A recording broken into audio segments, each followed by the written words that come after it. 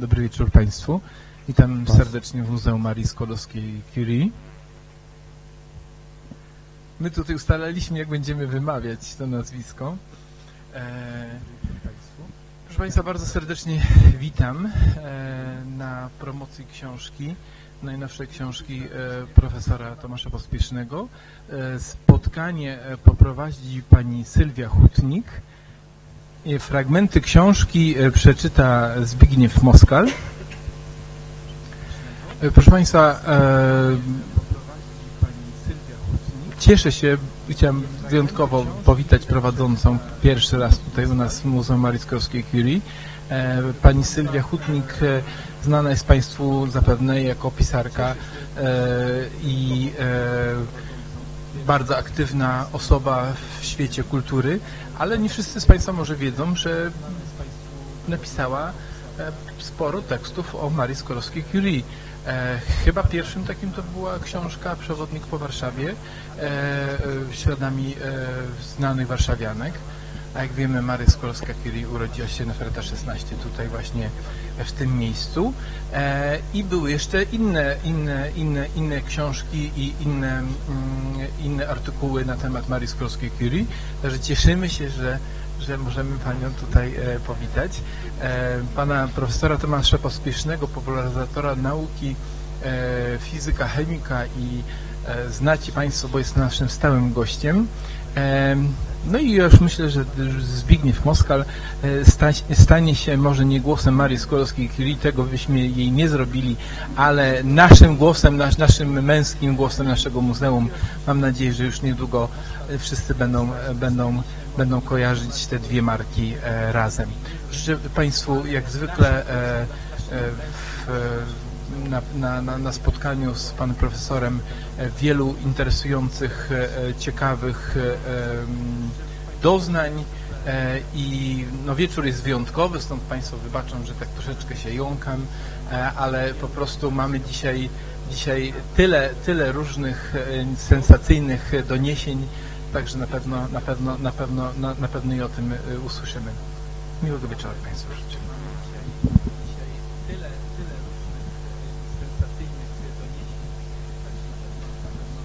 Tak, musimy do mikrofonu.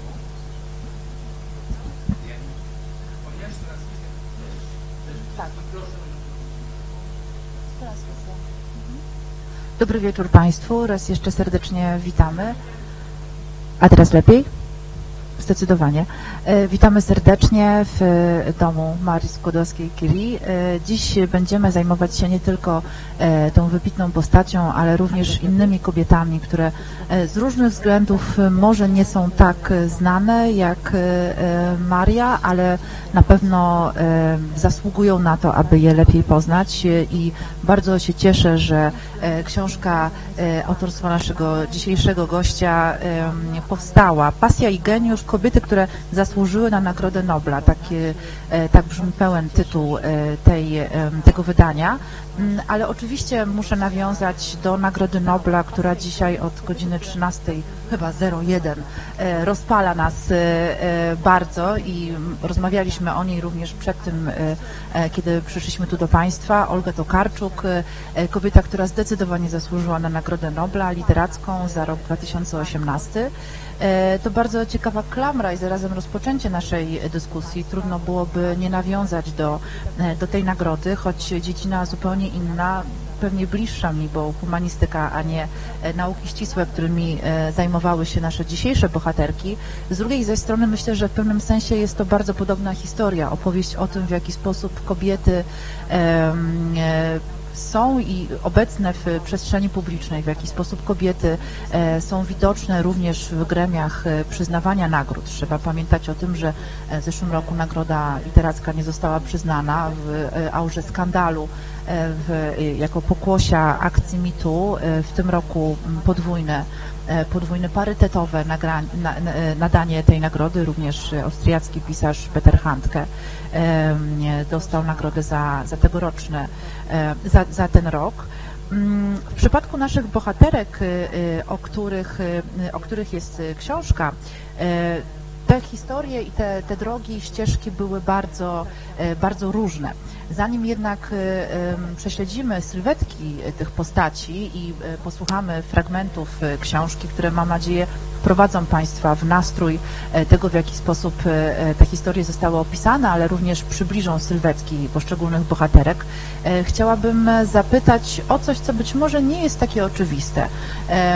Przyznam się, że nie znam wielu mężczyzn, którzy z taką wnikliwością zajmują się herstory, czyli historią kobiet i też z takim, powiedziałabym, wyczuciem tematu, bardzo jednak trudnego napięcia między życiem prywatnym, naukowym i zawodowym, potrafią gdzieś wyłuskać informacje również z archiwum, z książek źródłowych. Skąd zatem ta pewnego rodzaju misja, która w Panu siedzi, przybliżania sylwetek kobiet naukowczyń?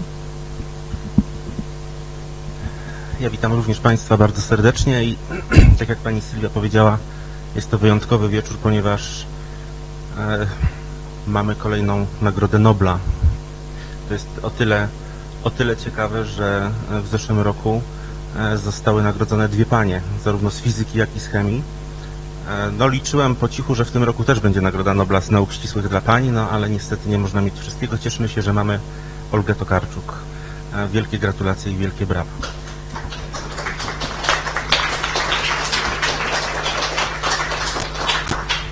Natomiast e, odpowiadając na Pani pytanie, po prostu szukam drogi sprawiedliwej i prawej. E, jest bardzo irytujące to, że na przykład w Polsce e, bardzo mało osób tak naprawdę zna Marię Skłodowską-Curie. My wiemy, że ona odkryła polon, że ona odkryła rad. Wiele osób twierdzi, że odkryła promieniotwórczość, co nie jest prawdą, bo wcale to nie było jej odkrycie. No i właściwie co dalej? jeżeli bym zapytał Państwa, e, proszę wymienić 5-6 pań, które są znane w nauce, w naukach ścisłych, no to poza Marią, może Ireną, czasami ktoś powie Eva Curie, bo będzie nie do końca zorientowany, która z tych córek e, była uczoną. Jest problem, więcej pań nie znamy. A przecież e, wybitna Liza Meitner, która była nominowana do Nagrody Nobla 48 razy to, to nie jest największa liczba nominacji, bo byli uczeni, którzy byli o wiele więcej razy nominowani, ale jako kobieta to jest jedyna postać, która dostała aż tyle nominacji i nigdy nie otrzymała Nagrody Nobla tylko dlatego, że była kobietą i Żydówką. E, kompletnie nieznana postać, odkryta na nowo w latach 90. przez profesor Syme. E, w Polsce nieznana, w Berlinie, w Wiedniu troszeczkę się o niej gdzieś tam przypomina. E, ale zawsze jak opowiadam, e, kiedy mam wykład o Lizie Meitner i opowiadam o jej życiu, to wracam do tego regularnie, ponieważ to jest, bardzo mnie to uderzyło na Uniwersytecie w Berlinie, proszę Państwa, e, kiedy się wchodzi na schod, po schodach na pierwsze piętro, są zdjęcia wszystkich wybitnych uczonych. Einstein, Planck, Heisenberg, Schrödinger, Born i tak dalej, i tak dalej, i tak dalej. Żadnej kobiety. I kiedy już e, wychodziłem z, z uniwersytetu, mój przyjaciel zawołał mnie i mówi, słuchaj, tutaj w bocznym korytarzu, przy ubikacji, kilka kobiet, niepodświetlony korytarz i tam wisząca właśnie, wiszący portret Lizy Meitner. Trochę nie tak, bo właściwie wszystkie odkrycia, które zawdzięczamy Lizie Meitner, zawdzięczamy Lizie Meitner, nie Ottonowi Hanowi, który z nią współpracował. Który tak, no nie chcę używać tego słowa, że ukradł, ale trochę tak przy jej nazwisku pożyczył, tak, można powiedzieć, pożyczył, przy, przypisał się do tego, do tego fenomenu jej, e, jej odkryć. No i tak właśnie sobie pomyślałem, że, że warto te kobiety skrzesić. Należy im się to, żeby, żeby o nich pamiętać i żeby o nich mówić. Często w takim kontekście pożyczania e, mówi się o tak zwanym efekcie Matyldy, to znaczy sytuacji, w której to kobieta e, wykonuje pracę, w wypadku naukowczyń e, odkrywa latami siedząc w laboratorium w pracowniach, a efekty jej pracy idą pod nazwiskiem męskim. Ale być może warto w tym momencie nakreślić specyfikę badań naukowych i to nauk ścisłych, bo y, kiedy mówimy o tym, że, że właśnie jest jakaś pracownia, że jest zespół badawczy, y, nie zawsze wiemy dokładnie w jaki sposób ta praca przebiega. Ona oczywiście też zmieniała się razem z, z naszymi bohaterkami, y, których losy dotyczą no właściwie całego XX wieku chyba na XX wieku one się y, akurat kończą w przypadku Pana książki. Y, W jaki sposób wygląda ta praca i w jaki sposób wyglądała praca badawcza i zespołowa naszych bohaterek? No właściwie trzeba zacząć od e, Marii Skłodowskiej-Curie, bo ona jest tą postacią, która mm, pokazała, na czym polega współczesna e, nauka, e, tą, ścieżkę do, do atomu właśnie Skłodowska-Curie e, wskazała. Wówczas to była praca niesamowicie ciężka. Maria, e, drobna, niewielka kobieta, e, tony ziemi, e, która zawierała uran i tę niewielką ilość polonu i radu własnymi rękoma mm, właściwie wydarła matce naturze. Pierre, Piotr Curie właściwie się tylko przyłączył do tych badań już kiedy cała idea była, była stworzona. Praca w duecie. Tak samo było w przypadku Lizy Meitner, tak samo było w przypadku Ottona Hanna i właściwie naszych wszystkich bohaterek. One zawsze pracowały w duecie. Czasami zdarzało się tak, jak w przypadku Harriet Brooks, e, że mężczyzna wytaczał tą drogę naukową, pokazywał, co jest ciekawe e, i akceptował pracę swojej wówczas studentki, e, jak w przypadku Harriet Brooks. Ale było też tak, że kobieta sama wpadała na pomysł przeprowadzenia eksperymentu, jak na przykład Madame W. E, Wykonała, proszę Państwa, eksperyment, który jest e, bardzo trudno nawet go opisać, tak trudny, żeby opisać go w, paru zdaniach, na czym on polega. E, Całą koncepcję mm, eksperymentu zrobiła sama, wykonała go sama, a mężczyźni dostali Nagrodę Nobla tylko dlatego, że wcześniej pomyśleli o tym, że można coś takiego zrobić. Można zrobić, ale nie zrobili. Dzisiaj to wygląda zupełnie inaczej. No, dzisiaj pracujemy w większych zespołach. Ja mogę powiedzieć, że w mojej pracowni, w której pracuję, w pracowni chemii mikrobiocidów, e, jest właściwie chyba dzisiaj więcej pań, które pracują z nami, my z nimi. E, I trudno mówić, że ktoś robi badania, a ktoś tych badań e, nie robi. Pracujemy wspólnie. Natomiast wówczas było to rzeczywiście taki podział, że kobieta jest raczej od brudnej roboty, a mężczyzna jest od myślenia. Zresztą tak przez wiele lat taki mit panował, że kobieta właściwie jest ta, która rodzi dzieci, wychowuje dzieci, prowadzi dom, może być zakonnicą. E, My jesteśmy dorośli, więc mogę to powiedzieć prostytutką, natomiast mężczyzna jest tym, który daje koncept pracy i e, potem dostaje nagrodę Nobla. E, Mamy poniekąd odpowiedź e, na pytanie, co takiego działo się, że kobiety były pomijane w, nie tylko w nagrodach, ale w ogóle e, e, ich praca była deprecjonowana, ta praca naukowa, e, ich oczekiwania też obyczajowe, ale mm, e, w dużej mierze skupienie się na pracy opiekuńczej. E, Co takiego w związku z tym zmieniło się, że zarazem zmienia się też e, sytuacja kobiet w nauce, jeżeli w ogóle, bo ja raczej będę tym pesymistycznym głosem, ale słyszę w Pana wypowiedzi, że jednak y, prace zespołowe wyglądają inaczej niż kiedyś. No myślę, że przede wszystkim zmieniło się to, że inaczej patrzymy na, e, na kobietę dzisiaj. Że kobieta to nie jest tylko ten e, pracownik, który ma zrobić swoje, a, a, a sukces płynie na mężczyznę, chociaż, tak jak słusznie Pani zauważyła, efekt Matyldy cały czas gdzieś tam pokutuje. Jeżeli byśmy mieli analizować, kto częściej dostaje granty, to myślę, że taka analiza doprowadzi do tego, że rzeczywiście będą to bardziej częściej panowie niż, niż panie. Ale należy się cieszyć e, i doceniać ten fakt, że chociażby w zeszłym roku te dwie nagrody Nobla z fizyki i z chemii e, to już, e, już duży sukces. Chociaż nadal, proszę Państwa, z chemii mamy tylko pięć laureatek, tylko pięć kobiet. E, Z fizyki, szybko liczę, wychodzi mi, że trzy.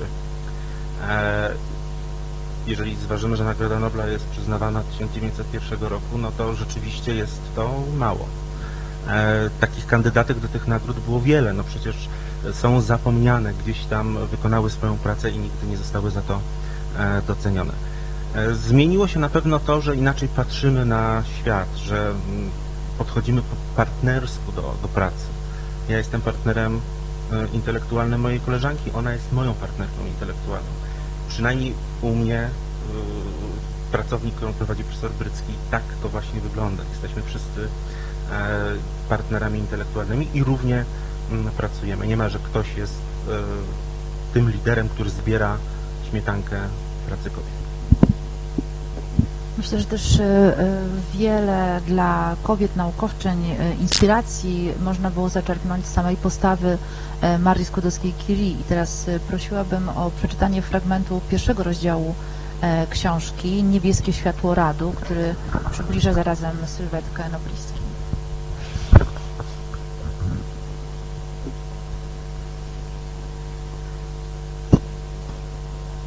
Niebieskie światło radu. Wielka sława spadła na małżonków Curie niespodziewanie, niszcząc ich spokój i normalny tryb życia.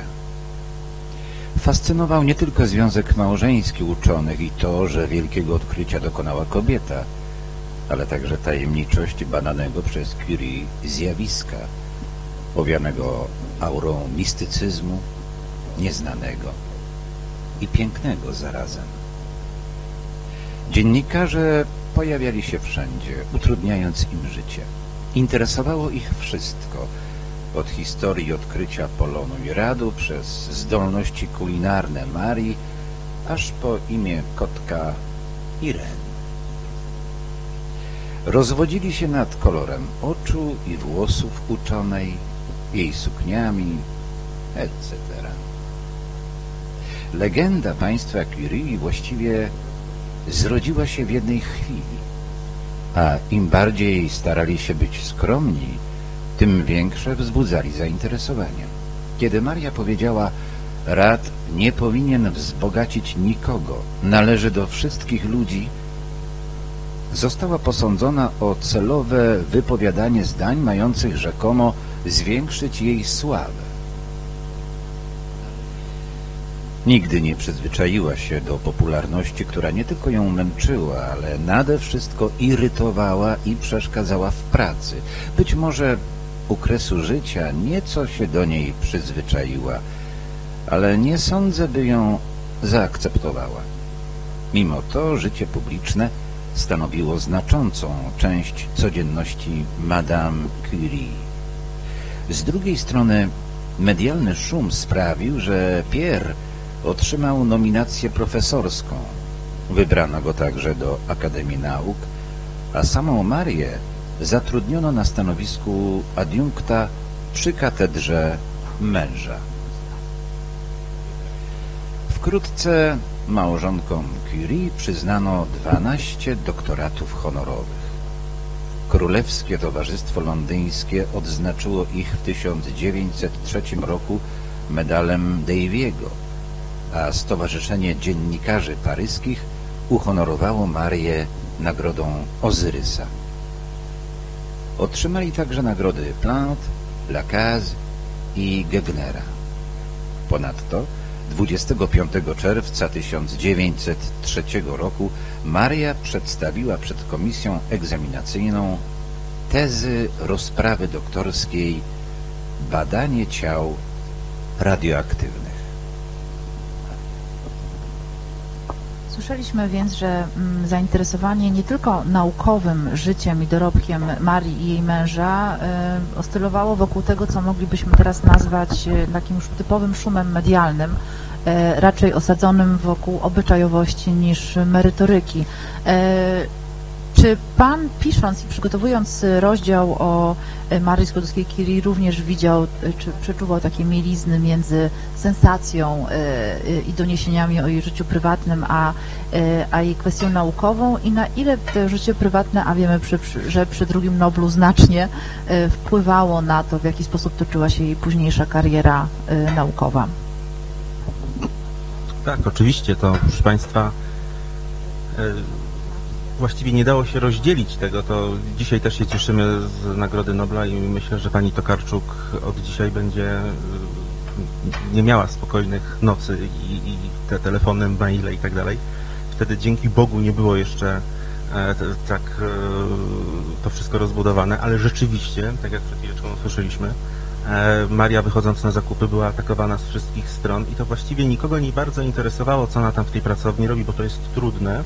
E, Było ciekawe, no bo rad rzeczywiście ładnie świecił i był niebieskawy, czy tam zielonkawy. Natomiast e, interesowało ich na przykład to, czy umie zrobić rosół. E, tak, to było bardzo ważne.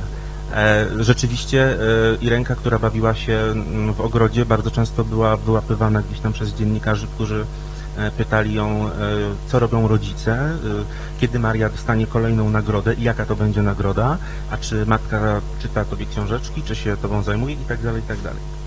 E, Kiedy pojawiła, pojawiły się doniesienia o cudowności Radu, specjalnie cudowności, ponieważ e, był to dość e, specyficzny pierwiastek, no to dodatkowo pojawiły się historie z tym, żeby na przykład e, sukienki ozdobić radem i będą świeciły w ciemności. Kiedy e, zorientowano się, że można na, na Radzie zrobić, zbić fortunę, zaczęto, zaczęły się pojawiać artykuły w gazetach, że to jest tak cudowny pierwiastek, że warto go dodawać do czekolady, do prezerwatyw, do kropli do oczu, do pasty, do zębów. Bardzo szybko okrzyknięto Marię Radową Madonną. E, I taki pseudonim, taki, taką nazwę miała gdzieś tam wśród dziennikarzy, e, że ta Radowa Madonna może wiele e, zdziałać, wydziera tajemnice nauki, e, e, przyrody, e, pokazuje to w nauce, więc warto się tym interesować. No tutaj Pani nawiązała do drugiej Nagrody Nobla, ale nie wiem, czy Państwo wiecie, również pierwsza Nagroda Nobla była pod wielkim znakiem zapytania, ponieważ w pierwszej kolejności nagrodę miał otrzymać Piotr Curie i Becquerel. Kiedy Piotr dowiedział się listownie, że został tylko on nominowany, zbuntował się i powiedział, że nagrody nie odbierze, że nagroda powinna być podzielona między e, jego żonę Marię i, i jego i rzeczywiście mm, e, dopiero wtedy zaczęto poważnie brać pod uwagę, czy tą nagrodę Nobla przyznać Marii. Pojawił się kolejny problem, z nominacją, ponieważ w 1903 roku nikt oficjalnie Marii nie nominował do Nagrody Nobla. No i wówczas sobie przypomniano, że również taki, takie nominacje mogły być e, wystawiane przez zagranicznych e, akademików e, i stwierdzono, że 31 stycznia 1902 roku była nominowana przez e, zoologa, który spóźnił się z nominacją na 902 i stąd ta nominacja przeszła na 903 rok. Dlatego Maria właściwie mogła otrzymać tą nagrodę e, Nobla. E, W przypadku 1911 roku to oczywiście słynny skandal, afera Longevin, no i listy od również e, wielkiego, wybitnego e, fizykochemika Areniusa do Marii Skłodowskiej-Curie. E, Proszę oczyścić swoje imię i wówczas może Pani przyjechać odebrać Nagrodę Nobla. No i teraz znowu proszę sobie wyobrazić sytuację, kiedy odbiera Nagrodę Nobla Albert Einstein. Kiedy została mu przyznana Nagroda Nobla z fizyki, e, żył w skandalu, był jeszcze mężem swojej żony Milewy, miał romans z inną kobietą, która na domiar złego była jego kuzynką, Elzą. E, nikt takiego listu do niego nie napisał. Oczyść się z zarzutów życia w związku czy poza związkiem i wówczas możesz odebrać Nagrodę Nobla. Wręcz przeciwnie. Witamy, profesorze Einstein. E, także e, tu już też widać ten e, dysonans właśnie pomiędzy tak, jak traktowano mężczyzn, jak traktowano kobiety.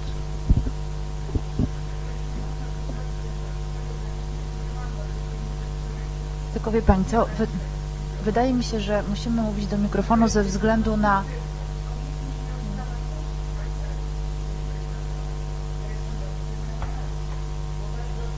Mhm. Mhm. E, Potem oczywiście oddam Państwu głos, e, ale będę prosiła o używanie mikrofonów ze względu na to, że mamy transmisję e, internetową i chodzi o to żeby ci, którzy oglądają nas na ekranach, mogli nas również słyszeć. E, Skoro więc e, nie dowiedzieliśmy się póki co, jak nazywał się kotek Irene, to może e, przedstawmy też nietuzinkową sylwetkę córki Mali. Prosiłabym zatem o fragment książki rozdziału Pomyłki prowadzące do Nagrody Nobla, jeśli mogę prosić.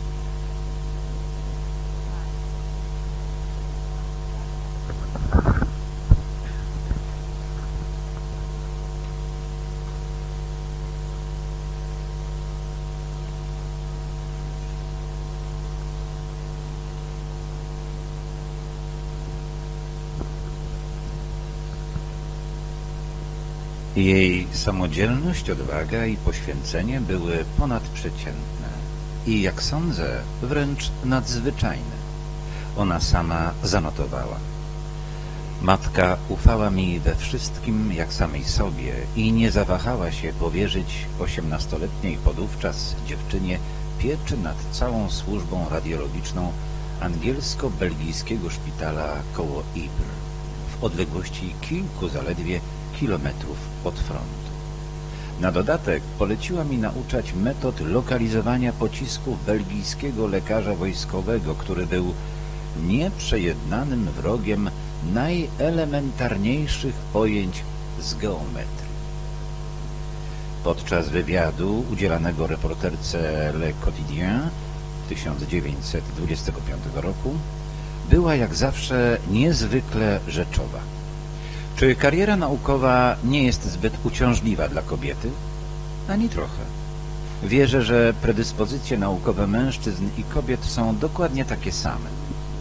Kobieta poświęcająca się nauce powinna być wolna od codziennych obowiązków, odpowiedziała Irena. A co z obowiązkami rodzinnymi? Są możliwe, pod warunkiem, że są akceptowane jako dodatkowe obciążenie. Uważam, że nauka jest najważniejszym zainteresowaniem w moim życiu. A co z niebezpieczeństwem, jakie niesie rady? Teraz wiem lepiej, jak się chronić przed promieniowaniem. W wywiadzie dla La Journal de la Femme w 1936 roku powiedziała Nie jestem jedyną, która myśli, że kobieta naukowiec może wykazywać się brakiem zainteresowania rolą kobiety zarówno w życiu prywatnym, jak i publicznym. Jeśli przez Nagrodę Nobla moje nazwisko nazwisko kobiety stało się trochę głośniejsze niż zazwyczaj, czuję, że moim obowiązkiem jest głosić określone pomysły, które moim zdaniem mogą być użyteczne dla wszystkich francuskich kobiet. Dlatego przyjęłam przewodnictwo szeregu spotkań, na których są omawiane prawa kobiet. Tym tekście również słyszeliśmy echa e, napięcia między obyczajowością i podwójnymi standardami e, dla mężczyzn i dla kobiet zajmujących się nauką. E, ale ja chciałabym spytać się o ten dość tajemniczy tytuł rozdziału dotyczącego mm, Irene. Pomyłki prowadzące do Nagrody Nobla. Czy możemy zdradzić, o jakiego rodzaju pomyłki chodzi? Tak, możemy zdradzić. Proszę Państwa, to jest taka mm, właściwie teza, która może wzbudzać pewne sensacje, ale uważam, że Irena Joliot-Curie mogłaby otrzymać nagród Nobla przynajmniej cztery. E, każde odkrycie, o którym myślę, zostało nagrodzone Nagrodą Nobla i w każdym z tych odkryć odegrała e, niezwykle ważną rolę. E, pierwsze odkrycie, które właściwie uciekło Irenie i Fryderykowi z rąk, to odkrycie neutronu mówiąc bardzo kolokwialnie, troszeczkę błędnie zinterpretowali wyniki badań. Gdyby mieli więcej odwagi, gdyby rzeczywiście mogli e, i chcieli może, trudno powiedzieć dzisiaj, e, trochę bardziej e, finezyjnie myśleć, Nagroda Nobla za odkrycie neutronów padłaby w ich ręce. Tak otrzymał ją James Chadwick w 1935 roku razem z Ireną i z Fryderykiem. Oni odbierali Nagrodę Nobla z chemii, on z fizyki. Druga Nagroda Nobla to Nagroda Nobla za pozyton. Tutaj również odkrycie e, jeszcze bardziej dziwnej cząstki elementarnej, bo dodatniego elektronu. Trochę to takie było irracjonalne, jak elektron e, może mieć ładunek dodatni. E, sama wnuczka Marii Skłodowskiej-Curie, córka Ireny, wspominała, że właściwie jej rodzice trochę w to nie wierzyli, że tak może być powtórzenie tego eksperymentu i trochę inna interpretacja doprowadziła do tego, że Anderson otrzymał za to nagrodę. E, wreszcie sukces, e, odkrycie sztucznej radioaktywności, chociaż jak twierdzi e, profesor Hurwitz i wielu naukowców, tak naprawdę wcale to nie jest sztuczna radioaktywność, jest to sztuczne otrzymywanie izotopów, czy sztucznych izotopów, tych, które nie występują w przyrodzie, natomiast sama, samo zjawisko jest czymś naturalnym. E, I bardzo szybka Nagroda Nobla. Proszę sobie wyobrazić, w 1934 roku odkrywają sztuczną radioaktywność, a już rok później, w 1935 otrzymują Nagrodę Nobla. Nie muszą czekać 5, 10, 20 lat, tylko od razu po roku, więc rzeczywiście wówczas e, wszyscy zdawali sobie sprawę z wagi tego odkrycia, że to było coś niesamowitego. I wreszcie pod koniec lat 30. Irena zaczyna się interesować ostatnim naturalnie wówczas występującym pierwiastkiem, uranem i neutronem. Neutron, który nie ma ładunku, doskonale wchodzi w jądro atomowe, które ma ładunek dodatni. Jest idealnym pociskiem. No i zaczynają się dziać dziwne rzeczy. To jądro zachowuje się w dziwny sposób. Irena obserwuje jako świetny chemik analityk, e, że w materiale, który otrzymała po eksperymencie pojawiają się atomy lantanu, pierwiastka o połowę lżejszego niż uran. I znowuż trochę brakuje odwagi, żeby stwierdzić, że jądra atomowe pęka, powstają dwie części mniej więcej zbliżone masowo. To odkrycie e, oczywiście powtórzył Otto Hahn. E, kompletnie nie umiał go zinterpretować, absolutnie. E, wówczas pisał listy do swojej przyjaciółki Lizy Meitner, która przebywała w Szwecji. Ona podała mu na tacy interpretację zjawiska czy reakcji, za którą otrzymał Nagrodę Nobla. Także uważam, że Irena śmiało mogła cztery Nagrody Nobla otrzymać. No, fenomenalna uczona. Przepraszam, jeszcze tylko wtrącę. Nie przypominam sobie, żeby był mężczyzna, który mógłby tyle nagród Nobla otrzymać za tak wielkie przełomowe odkrycia. E, trochę nam Nagroda Nobla staje się takim swoistym leitmotivem tego spotkania i pewnie się Państwo e, nie dziwią, e, ale ja chciałabym zatrzymać się przy innej takiej cesze wspólnej y, y, naszych bohaterek, o których dotychczas wspomnieliśmy i przenieść się na kolejną bohaterkę, e, tańczącą z atomami, e, której polskie korzenie również mogą stanowić taki punkt wspólny z poprzednimi osobami i prosiłabym o przeczytanie fragmentu dla odmiany dziewiątego. Przepraszam, że Panu mieszam kolejność, ale za suspens musi być zachowany.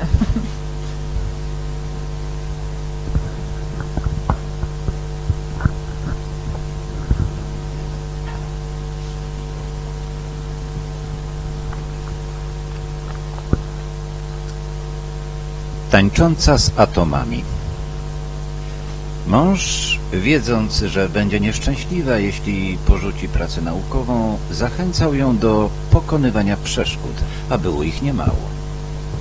Po latach uczona wspominała. Wyczuwałam zagrożenia bardzo szybko, więc po prostu nauczyłam się być niepozorna.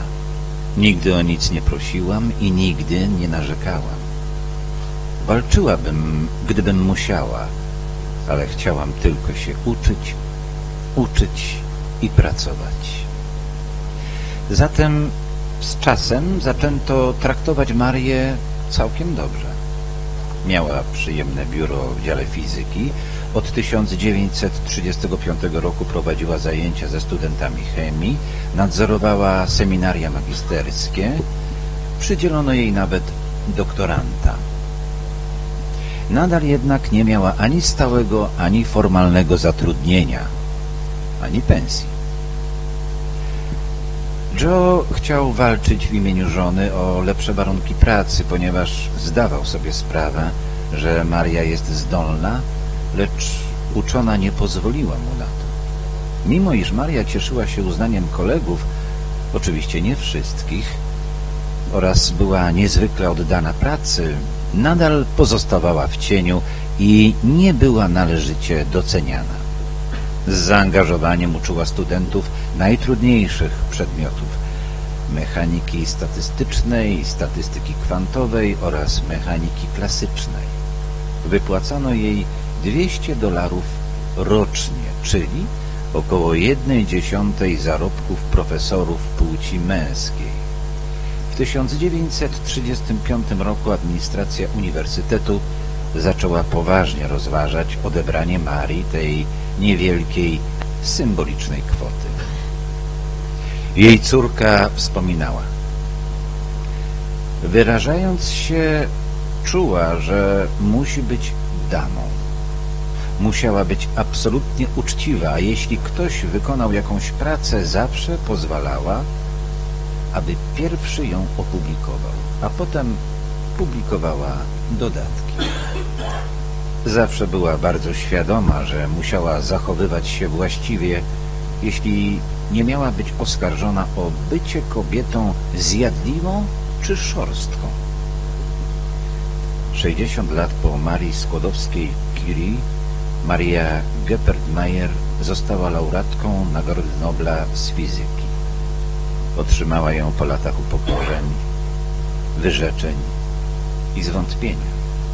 Nagrodę przyznano jej za odkrycia dotyczące struktury powłokowej jądra atomowego. Takie samo imię, e, taka sama droga, albo inaczej, takie samo zwieńczenie drogi naukowej, e, pochodzenie, e, dlaczego więc tańcząca z atomami i przede wszystkim jakie były losy tej uczonej. Maria Geppert-Meyer rzeczywiście nasuwa tutaj analogię z Marią Skłodowską-Curie. Urodziła się w Katowicach, ale to proszę pamiętać, że to nie były wówczas polskie Katowice. Nie mówiła po polsku. Jej rodzicami byli e, Niemcy. E, ojciec był Niemcem, matka była e, Niemką. Miała szczęście, tak jak Maria, dlatego, że obydwoje rodzice zaszczepili jej samodzielność. Zresztą wiele bohaterek książki miało to szczęście, że rodzice mówili im słuchaj matki i ojca, ale myśl samodzielnie. Tak było w przypadku na przykład Lizy Majt. E, Maria, była, Maria Geppert-Meyer była jedynaczką, więc cała miłość rodziców była skupiona tylko na niej. E, ojciec niezwykle otwarty umysł, wielki intelektualista, uczony, lekarz, e, przekazywał Marii wiedzę o świecie taką, jaką wówczas posiadał i właściwie, kiedy się przeprowadzili do Getyngi, Maria rozkwitła intelektualnie. Chociaż, jak wspomina jej mistrz i mentor Max Born, E, na początku była raczej, mm, przepraszam, że użyję tego sformułowania, ale cytuję, e, bardziej piękna niż mądra, e, tylko i wyłącznie dlatego, że nie poświęcała zbyt dużo czasu na to, żeby się uczyć. Rzeczywiście nazywano ją też w pewnym momencie pięknością z Getyngi. Ale kiedy już zapoznała się z fizyką kwantową, zakochała się w niej bez reszty. I rzeczywiście praca doktorska Marii Deppert-Meyer dopiero zastosowanie praktyczne miała w późnych latach 70., 60. E, tak bardzo wyprzedziła swoimi badaniami e, czas. E, myślę, że miała trochę gorsze życie niż Maria Skłodowska-Curie, ponieważ była bardziej, mimo że żyła później i dłużej, że była bardziej poniżana przez kolegów mężczyzn. Chociażby dlatego, że nie dostawała pensji Pracowała w instytucie, w którym pracował również jej mąż. E, on przynosił e, pieniądze do domu, ona nie. Kiedy pisali razem książkę, e, wielu uczonych uważało, że to on, Meyer, jest autorem, a ona tylko sekretarką, która gdzieś tam przepisywała jakieś poszczególne rozdziały. Kiedy się zorientowano, że mamy do czynienia z geniuszem i zaproponowano Marii Geppert-Meyer pracę w projekcie Manhattan, jej mąż Joe absolutnie nie wiedział, nad czym pracuje żona. E, była jedną z nielicznych kobiet, które właściwie były liderkami grup e, wiodących w projekcie Manhattan. No i wreszcie ten sukces, olbrzymi sukces, kiedy otrzymuje Nagrodę Nobla i mówi, że właściwie Nagroda Nobla nic nie zmienia w życiu człowieka. Znowuż możemy nawiązać do pani Tokarczuk, ciekawe czy też tak, e, tak powie. Jeżeli kochasz naukę, to właściwie dalej robisz swoje. Maria była taką osobą, e, tak jak tutaj przed chwilą słyszeliśmy, bardzo, bardzo uczciwą i lojalną wobec swoich współpracowników. Nigdy nie zdarzyło jej się, żeby e, opublikowała coś pierwsza, jeśli uważała, że ktoś inny zrobił to przed nią. Tak zresztą było też z modelem e, powłokowym, za który otrzymała Nagrodę Nobla. Także tych, tych takich połączeń między Mariami Skłodowską i Meyer troszkę jest, E, tytuł rozdziału, o którym Pani tutaj zaczęła rozmawiać ze mną, e, zaczerpnąłem właściwie z Katowic. E, tam na rektoracie uniwersytetu jest piękny mural, całkiem niedawno z siedzącą tutaj na widowni Eweliną Weiss byliśmy w Katowicach i mieliśmy przyjemność go oglądać. I jest właśnie piękny napis tańcząca z atomami. Szkoda tylko, że ten ta ściana tego budynku jest gdzieś z boku i nie widać tego, nie chwalimy się tym tak centralnie bardzo. No, na szczęście jest tablica na domu, w którym się urodziła Maria Geppert-Meyer, pamiątkowa, która również przypomina, że stamtąd pochodzi noblistka. Natomiast ten tytuł Tańcząca z atomami wydawał mi się tak bardzo oczywisty i tak piękny, że nie mogłem się powstrzymać, żeby tak nie nazwać rozdziału. W książce mamy 10 bohaterek, większość z nich jest y, mało znana, jak, jak nawet nie powiedzieć prawie w ogóle. W związku z tym y, wybaczą Państwo taką swoistą galopadę po, po tych nazwiskach, ale teraz chciałabym zaprosić do naszego grona jeszcze kolejną panią, o której była już tutaj mowa i której e, te napięcia między, między męskimi bohaterami e, badawczymi, a nią samą e, też, też są bardzo widoczne. Iza Meitner i rozdział Rozszczepienie atomu i zapomnienie, rozdział piąty. Jeśli mógłbym prosić o przeczytanie jego fragmentu.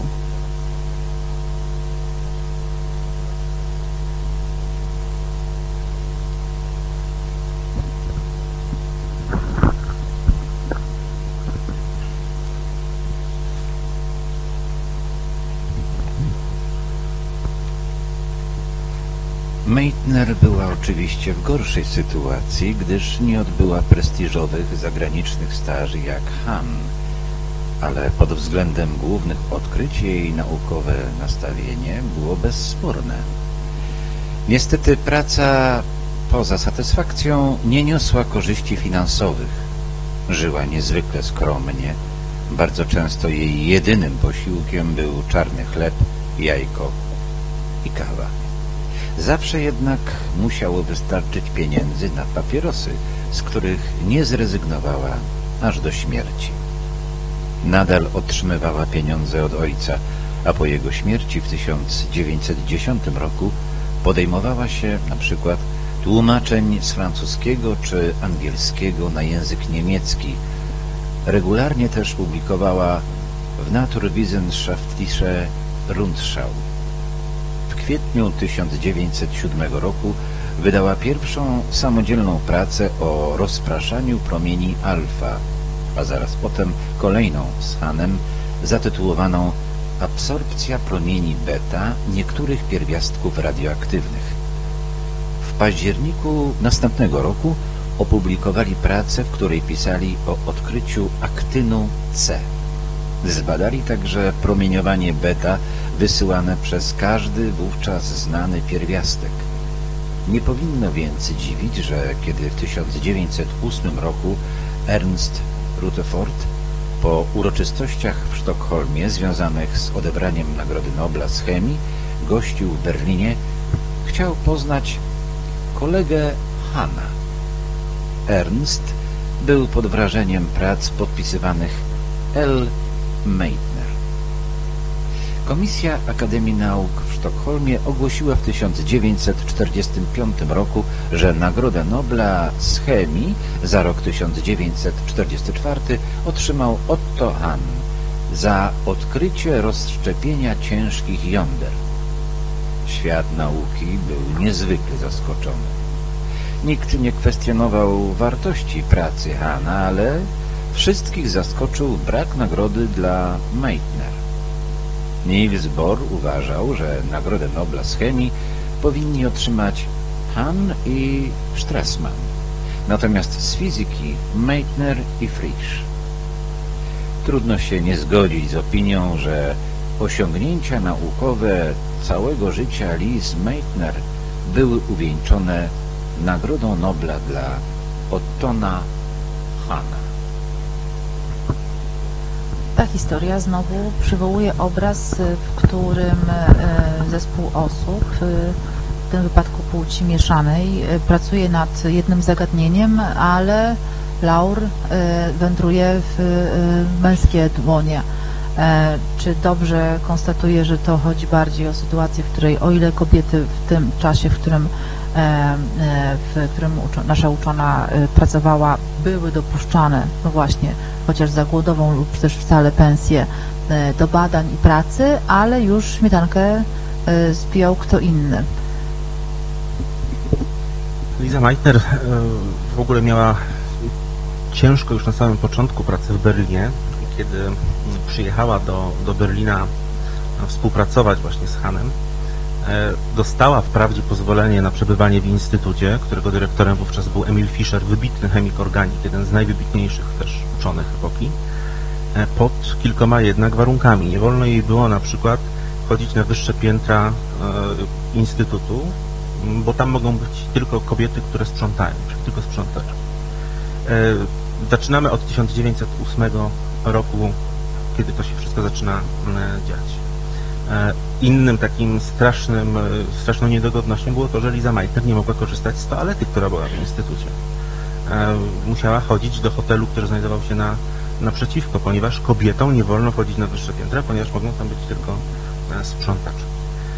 I w tym wszystkim takich właśnie upokorzeniach, tej dyskryminacji, tych niedogodnościach okazuje się, że jest tak genialną kobietą, tak genialnym uczonym, że mężczyźni mogą się od niej uczyć. E, Ona była z wykształcenia fizykiem, więc zupełnie inaczej mm, spoglądała na pracę Hana. Han był chemikiem, rzeczywiście był doskonałym chemikiem, analitykiem, który e, podjął studia u Ernesta Rutherforda, u Williama, Williama Ramseya. Natomiast kiedy doszło do tego najbardziej spektakularnego odkrycia, e, rozszczepienia jądra atomowego, Liza Meitner jako Żydówka musiała uciekać z Berlina i wówczas już przebywała w Szwecji. Korespondowali z Hanem, właściwie ta korespondencja przechodziła z dnia na dzień, to był też fenomen tamtych czasów, że z dnia na dzień e, otrzymywali listy. Han się upierał, że w swoich badaniach, w swoich eksperymentach widzi e, izotopy radu. E, Natomiast nie bardzo pasowało właśnie Lizie Meitner, która twierdziła, że to nie rad, ale połówki jądra atomowego. To, co widziała Irena Joliot jako lantan, Meitner stwierdziła, że będzie to bar.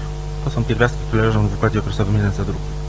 I rzeczywiście ta interpretacja tego doświadczenia, tego eksperymentu, która przyszła od Lizy Meitner, e, doprowadziła do tego, że Han mógł otrzymać e, Nagrodę Nobla. Zresztą Fritz Strassmann, który był asystentem e, Lizy i Ottona, kiedyś powiedział, że niezwykle cenili pracę i opinię Lizy Meitner, brali ją bardzo pod uwagę i właściwie bez opinii Lizy Meitner nic by nie osiągnęli.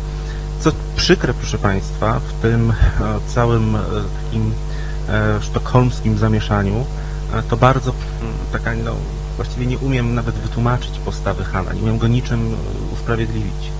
Kiedy Liza uciekała z Berlina, Han się z nią żegnał i na dworcu dał jej, wręczył jej pierścień swojej matki. Gdyby doszło do jakiegoś niebezpieczeństwa, to można przekupić nim asesmanów. Na szczęście udało jej się dość bezpiecznie uciec. Natomiast kiedy przyszło do Nagrody Nobla, nie wstawił się ze swoją koleżanką, mało tego, dyskredytował się od niej. Właściwie ona była jego mitarbeiter, współpracownikiem, asystentką. E, któregoś razu nawet powiedział, gdyby Lizunia została w Berlinie, zabroniłaby mi rozszczepić jądro atomowe. Także e, postawa Hana całkowicie jest w żaden sposób, przynajmniej dla mnie, nie do wytłumaczenia i do usprawiedliwienia. Piotr Curie stawił się za swoją żoną. E, Han za przyjaciółką, z którą pracował wiele lat i z którą odkrył też pierwiastek radioaktywny protakten, wiele izotopów, nie miał w sobie tyle odwagi, rozumu, szlachetności, trudno powiedzieć. To rzeczywiście, ciekawe, że rozpoczęliśmy naszą rozmowę od y, postaci najbardziej znanej, podwójny Nobel, y, potem przechodziliśmy przez nagrody, aż, y, aż teraz do, do historii tak naprawdę jakiegoś wielkiego znoju, dążenia do tego, co chce się nadal robić wbrew wszystkim, również warunkom, które tam panowały, a przecież to one były ustalane przez y, konkretne osoby. Mm, Jest jeszcze inna, kolejna wstrząsająca, y, a właściwie ze wstrząsającym końcem historia y, kolejnej uczonej, którą opisuje Pan w rozdziale Chmura niosąca śmierć, to drugi rozdział, czyli Klara Imenwar Haber. Jeśli mogłabym prosić o przeczytanie tego fragmentu.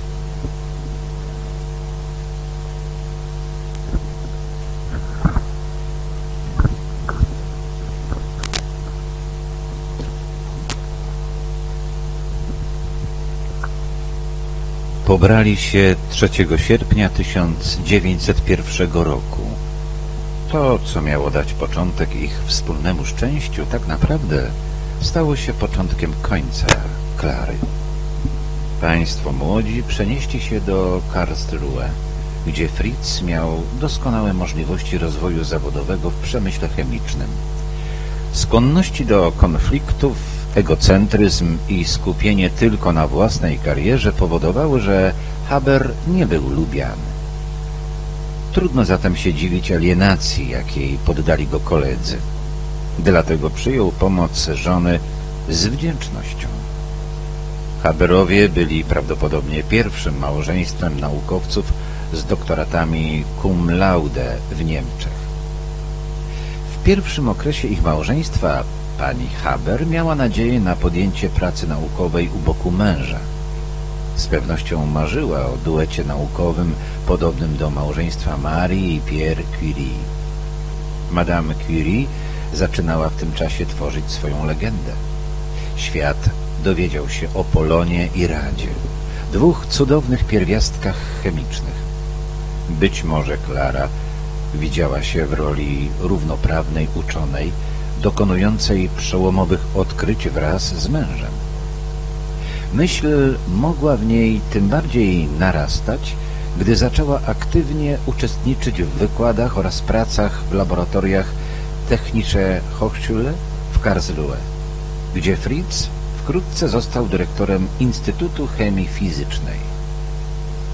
Tymczasem wprawdzie mogła odwiedzić laboratorium męża i studiować najnowsze czasopisma naukowe, ale, jak łatwo odgadnąć, była tylko obserwatorką w tym świecie nauki, a nie uczestniczką.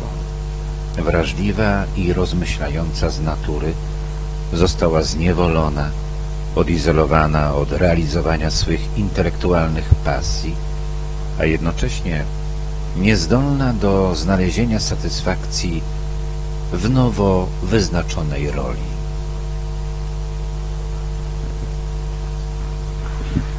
E, jej historia wpisana jest e, nie tylko w sam proces e, dochodzenia do, mm, do naukowych odkryć, to w jaki sposób ta ścieżka wyglądała, ale to tak naprawdę jaki był jej finał, a raczej do czego czasami wykorzystywane są badania naukowe i ich odkrycia. Myślę, że to w dużej mierze też historia i opowieść o, mm, o społeczeństwie i o tym, jak my korzystamy z nauki i jak może ona E, obrócić się przeciwko nam. No, historia rzeczywiście dramatyczna. E, Fritz Haber, genialny uczony, laureat Nagrody Nobla, e, który dokonuje syntezy amoniaku. Człowiek z drugiej strony bardzo zamknięty w sobie, myślę, że szowinista, bardzo źle traktuje swoją małżonkę. Prowadzi również badania nad gazami bojowymi. Podczas I wojny światowej E, zostają one wykorzystane do zabijania setek tysięcy ludzi. E, Klara, która nie godzi się z tą częścią pracy swojego męża, e, w rezultacie popełnia samobójstwo, strzela sobie prosto w serce z jego służbowej broni. Proszę Państwa, co, co najbardziej jest zaskakujące w tej, w tej historii, ten protest Klary Haber i Merwar przeciwko pracy męża i niszczeniu prawdy naukowej, wiąże się też z jej nazwiskiem. Jej nazwisko, nazwisko oznacza zawsze prawdziwa. Przysięgę, którą złożyła, kiedy jako pierwsza kobieta na Uniwersytecie Wrocławskim, wówczas Breslau, e, e, składała po obronie, obronie doktoratu, właściwie do samego końca tej przysięgi przestrzegała i była jej wierna. Również syn Haberów popełnił samobójstwo, nie mógł udźwignąć właściwie tego, tej złej sławy swojego ojca. E, historia potrafi być niezwykle przewrotna prace, które Han e, Haber e, przeprowadził, doprowadziły do e, tego, że prostu w obozie, w obozach w Oświęcimiu te jego wynalazki były wykorzystywane do zabijania ludzi. Ponieważ Haber był Żydem, wielu jego członków rodziny zginęło właśnie właściwie z ręki Habera dzięki jego odkryciom. Nie będziemy mieć czasu aby poznać wszystkie sylwetki e, kobiet, chciałabym za chwilkę oddać też Państwu e, głos. Natomiast chciałabym poświęcić jeszcze chwilę czasu, jeśli Państwo pozwolą, e, jednej z, z naukowczyń z rozdziału ostatniego, dziesiątego, ekspertka od niewykonanego. I tutaj pokuszę się o przeczytanie imienia i nazwiska, Chien Xiong Wu. A to dlatego, bo wydaje mi się ona tutaj dość ciekawą postacią, jeśli chodzi oczywiście też o pochodzenie, ale też sposób, w jaki prowadziła karierę. No, chciałabym zakończyć jakoś pozytywnie przegląd tych sylwetek kobiecych. Nie zawsze tam był happy end i nie chodzi mi tylko o Nagrodę Nobla, ale oddałabym głos Panu o przeczytanie fragmentu rozdziału ekspertka od niewykonalnego.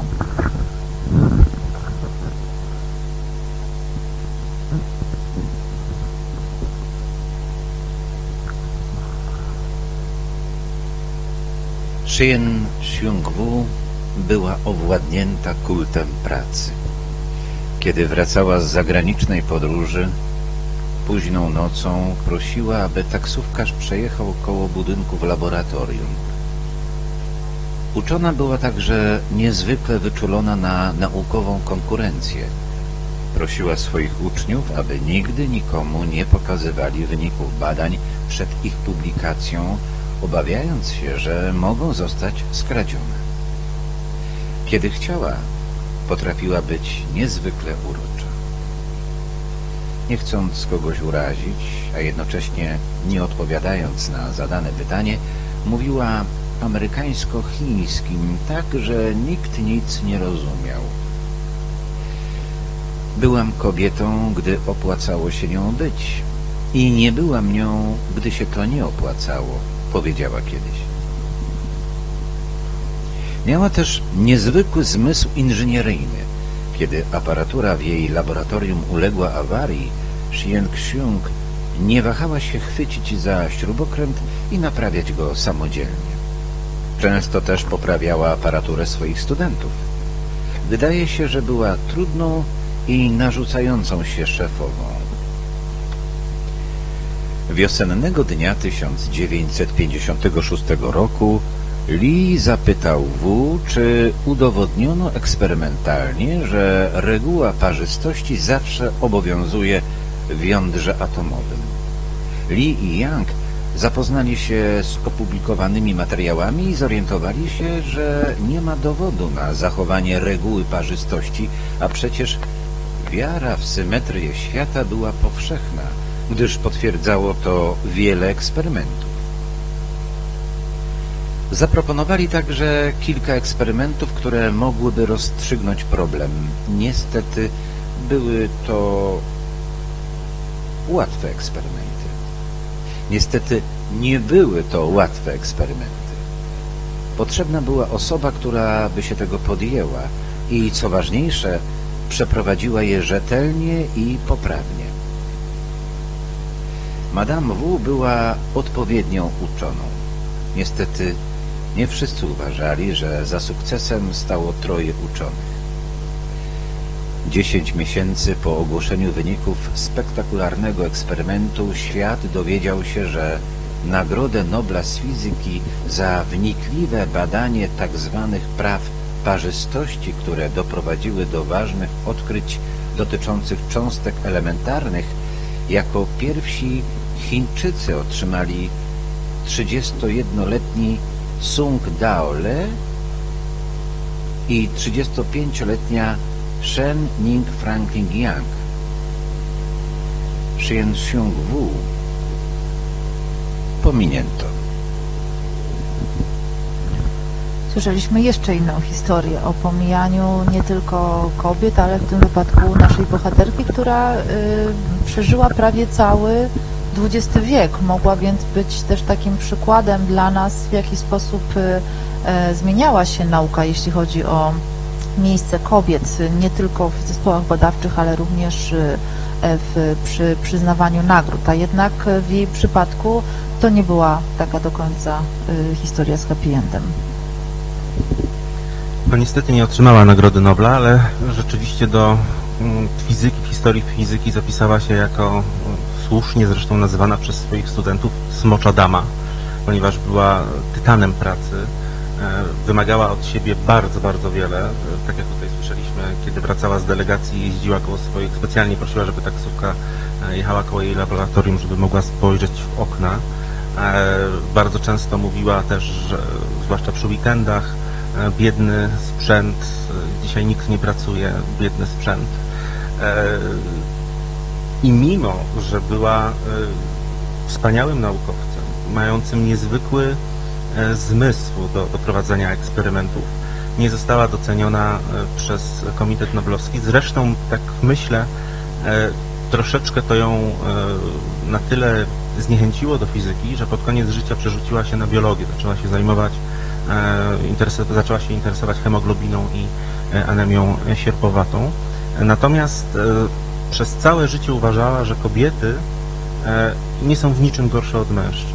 Są równymi, i teraz właściwie nie wiem, e, jak tego słowa użyć, czy partnerkami, czy partnerami do, do tej pracy, e, ponieważ nie ma żadnej różnicy poza siłą fizyczną. Tylko i wyłącznie to, to, to jest ta różnica. Zresztą myślę, że to, co kiedyś mm, jeden z historyków nauki napisał o Marii Skłodowskiej-Curie, tutaj też doskonale pracuje, y, pasuje, że mm, Madame W nie musiała udowadniać mężczyznom, że im dorównuje. To oni musieli udowodnić, że dorównują Madame W. Trudno jest, y, y, myślę, pokusić się o mm, pewnego rodzaju podsumowanie tych wszystkich bohaterek, bo choć oczywiście ich wspólnym mianownikiem jest, y, jest ta płeć kulturowa, ale też Nagroda Nobla, wokół której i dziś my rozmawiamy, ale wokół której budowana jest ta książka. Ale mimo wszystko może poprosiłabym Pana o wskazanie takich cech charakteru, podejścia do swojej pracy, być może strategii, które przyjmowały bohaterki, które Pan opisuje, które mogłyby stanowić e, coś w rodzaju inspiracji dla młodych naukowczyń, które bardzo często, e, i to paradoks i, i smutna konstatacja, borykają się z podobnymi problemami, co ich e, poprzedniczki 50-80 lat temu.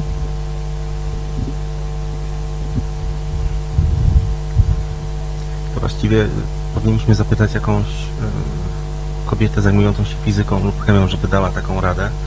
Ja myślę, że jednym zdaniem, jeśli mogę zrobić coś ja jako mężczyzna, to może to zrobić również kobieta. Jeśli mogę to zrobić ja jako kobieta, to może to zrobić e, również mężczyzna. E, przede wszystkim tutaj chyba też zacytuję e, i zaczerpnę trochę z myśli Mariana Danysza, e, że kobiety mają w sobie niezwykły zmysł analityczny, skrupulatność. E, i w tym są po prostu lepsze od mężczyzn. Nie możemy w takich, w tym rywalizować, po prostu nie mamy e, szans. I jeszcze jeden cytat, który przyszedł mi teraz do głowy, to Margaret Thatcher, która powiedziała, jeśli chcesz, żeby zostało coś powiedziane, powiesz to mężczyźnie, jeśli chcesz, żeby zostało zrobione, powiesz to kobiecie. E, I teraz czas dla Państwa na zadanie pytań autorowi, bądź też podzielenie się refleksją. Będziemy podawać mikrofon ze względu na transmisję, ale myślę, że możemy umówić się w ten sposób, że jeśli ktoś z Państwa chciałby zabrać głos, to po szkolnemu można podnieść dłoń, a wtedy mikrofon zostanie przekazany.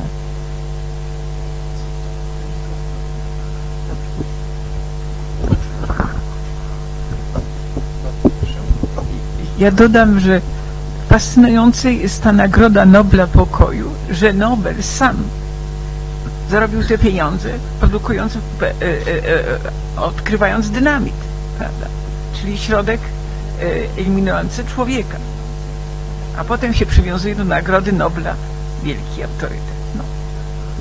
Tak, ale tutaj troszeczkę obronię Alfreda Nobla, ponieważ żaden z naukowców, kiedy prowadzi badania, a kieruje się czystością nauki, nie tak jak Haber, nie myśli o zastosowaniu swoich odkryć w niecnych celach. I przecież, i przy, ja mówię ten, który pracuje z szlachetnością. I przecież praca Nobla polegała przede wszystkim na tym, żeby nitrogliceryna, przez którą, jako środek wybuchowy, przez którą ginęły setki ludzi podczas transportu nitrogliceryny w górnictwie, e, żeby zrobić taki środek wybuchowy, żeby ci ludzie nie ginęli. To był jego, e, jego, jego idea. Natomiast później wykorzystanie tego w takim celu, no to już jest zupełnie inna historia. Ten sam sposób moglibyśmy mówić, że jeżeli Einstein sformułował równanie E równa się mc kwadrat, nie myślał, że kiedykolwiek będzie ono wykorzystane przy um, bombach atomowych, że, że będzie można to równanie właśnie do tego celu wykorzystywać. Na przykład. dobra ludzkości, a ludzkość wykorzystała przeciwko sobie. Dlatego ja się teraz zajmuję strategią międzynarodową pokojową, żeby przebić y, Marie Curie na arenie międzynarodowej i stworzyć taką organizację międzynarodową, która daje gwaranta pokoju całej kuli ziemskiej. To życzymy sukcesu.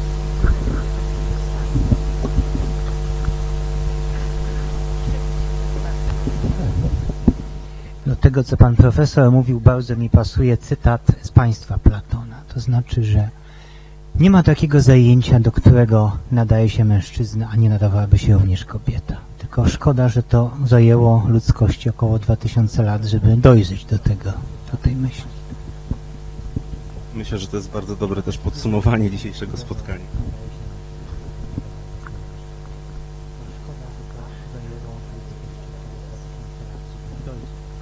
Proszę Państwa, jeżeli nie ma pytań, to... y, A, jest bardzo, proszę. Skłodowską, co mnie nurtuje. Dlaczego ona nie wróciła do Polski ani po śmierci, kiedy był skandal przy drugim Noblu, ani później, kiedy oferowano jej pracę w Warszawie w doskonałych warunkach? Jak Pan sądzi?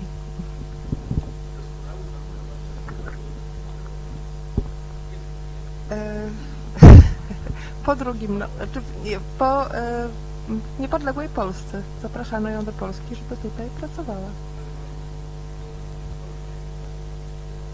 Ale chętnie posłucham opinii.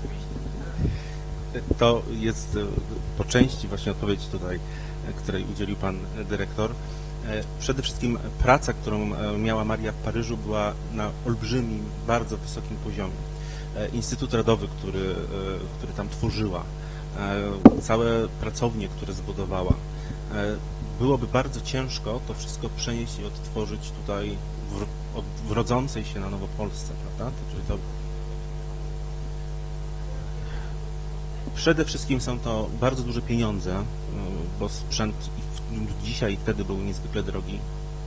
Y, Poza tym jest to logistycznie, było to logistycznie wówczas dosyć trudne. Poza tym istnieje taki jeszcze element jeden, który w moim odczuciu jest bardzo ważny, a mianowicie dzieci Marii Skłodowskiej i Piotra.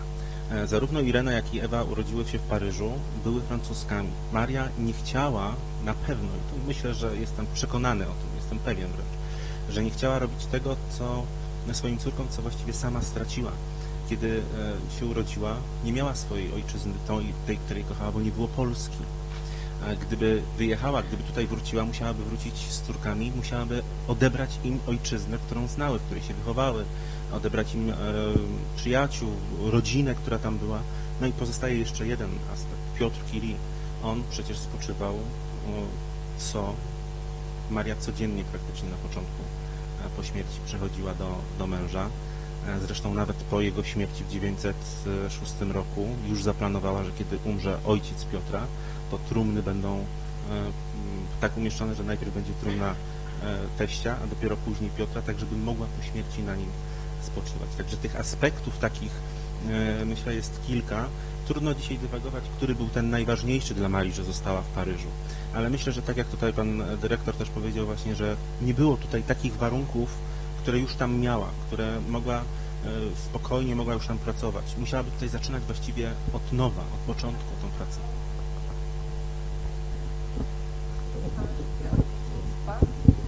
E, Więc wydawałoby się, że kiedy odrodzona Polska ją zaprasza, żeby tutaj stworzyła warunki mm, do pracy naukowej dla siebie i dla innych, to powinna mieć motywację, żeby to zrobić. A jeszcze ten moment, po, ten pierwszy moment, kiedy, kiedy Pan sam o tym wspominał w swojej książce, że sam się Pan zastanawiał w książce o Marii Curie, dlaczego nie wróciła do Polski w 1911, to jest moment, kiedy jej dzieci są małe, a, a trwa straszliwa nagonka na nią jako kobietę niemoralną.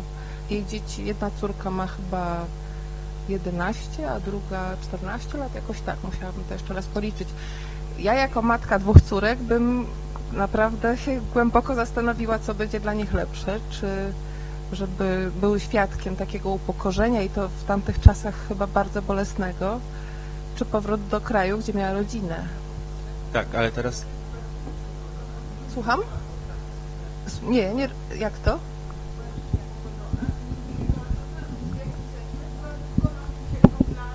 dla e, e, dzieci z dobrego domu, a tam mogła robić karierę naukową.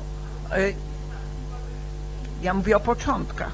I ona już się tam zakorzeniła i tam zrobiła karierę. Tam był jej świat.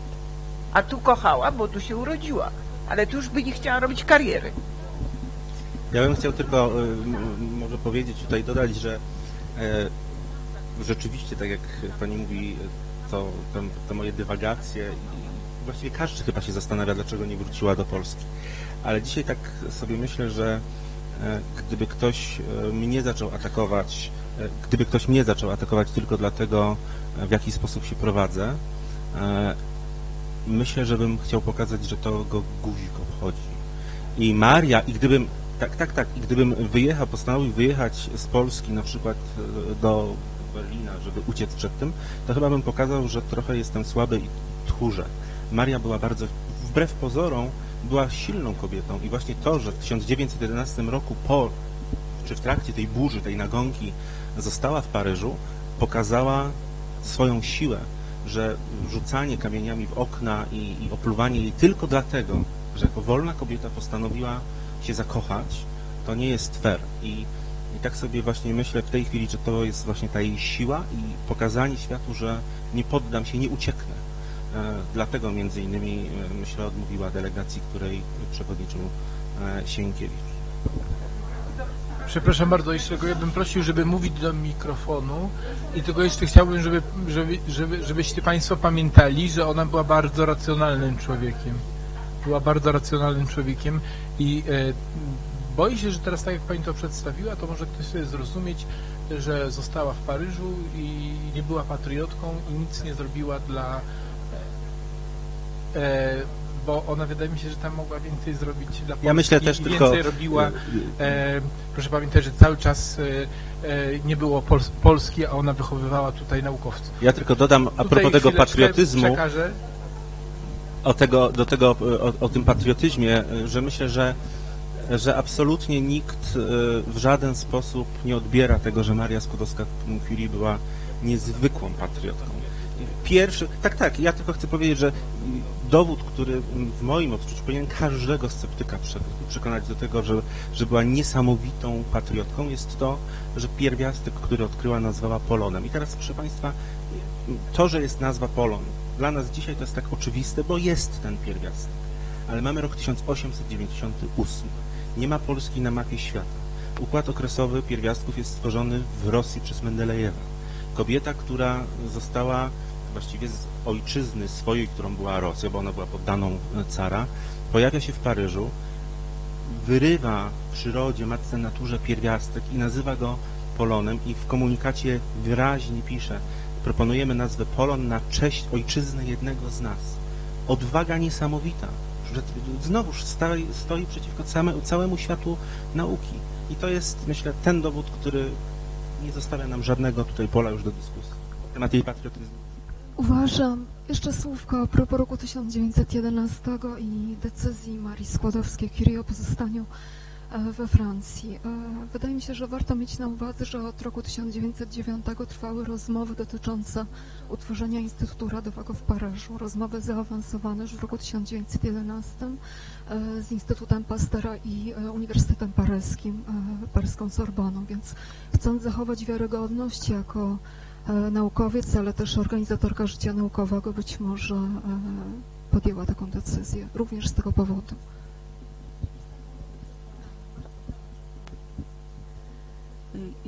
Ja, ja mam inną koncepcję i, tylko szybko powiem, bo mam inne pytanie w ogóle. Z innych, według mnie, jeżeli ma, Maria Curie-Skłodowska robiła to, co robiła, to musiała zostać w Paryżu. Przecież to była podstawowa sprawa, że nauka nigdzie indziej by nie mogła robić tego, co robiła. I dla mnie to jest i absolutne od, odpowiedź na to wszystko, na tą naszą dyskusję.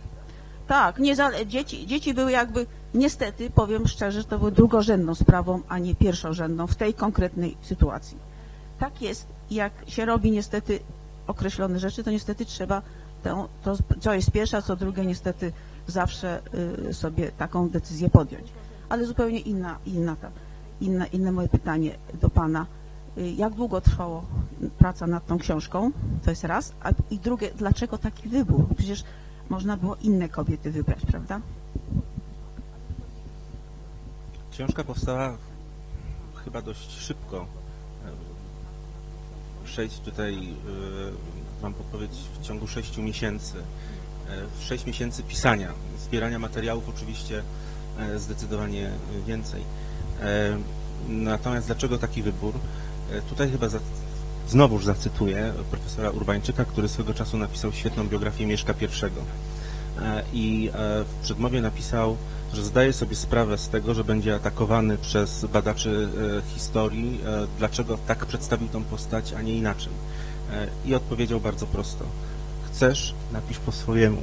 E, To jest e, wybór, e, tutaj odpowiadając na Pani pytanie, to jest wybór oczywiście taki, który, no, krótko mówiąc, dyktowało mi serce. W ten sposób te Panie zestawiłem, chcąc też klamrą zamknąć jakby chemię jądrową, fizykę jądrową.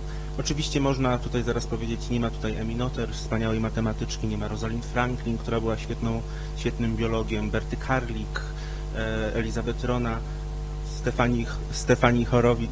Tak, ale to może rzeczywiście zostawimy na drugi tom.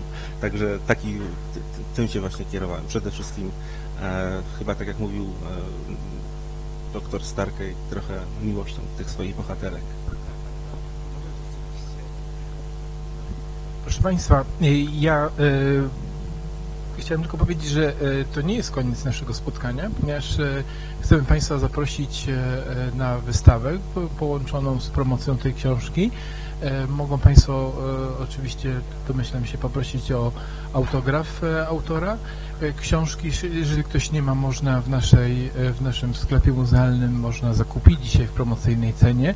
E, I oczywiście można zadawać pytania indywidualnie, także e, zapraszamy Państwa na, e, na parter, mm, na poczęstunek i, i będzie oczywiście okazja jeszcze, żeby porozmawiać czy to z autorem, czy to z prowadzącą spotkanie. Jeszcze raz serdecznie dziękuję Panu Profesorowi za przybycie, za książkę. Jeśli można, to ją pokażę dla tych, któ- których tutaj dzisiaj nie ma z nami. To jest Pasja i Geniusz podtytuł bardzo ważny Kobiety, które zasłużyły na Nagrodę Nobla wydawnictwo po godzinach. E, Muzeum Marii Skłodowskiej-Curie objęło patronatem e, tę książkę. Dziękuję bardzo pani Sylwii Hutnik za wspaniałe poprowadzenie. Zbigniewowi Moskolowi dziękuję za przeczytanie fragmentów. Zachęcam Państwa do naprawdę lektury tej wspaniałej książki. Wszyscy miłośnicy książek e, i wykładów pana profesora Pospiesznego wiedzą, że warto Życzę Państwu miłego wieczoru i jeszcze raz zapraszam na dół na poczęstunek i na obejrzenie wystawy, która w dosyć ciekawy sposób e, uzupełnia e, dzisiejsze spotkanie. Dziękuję. Dziękuję bardzo.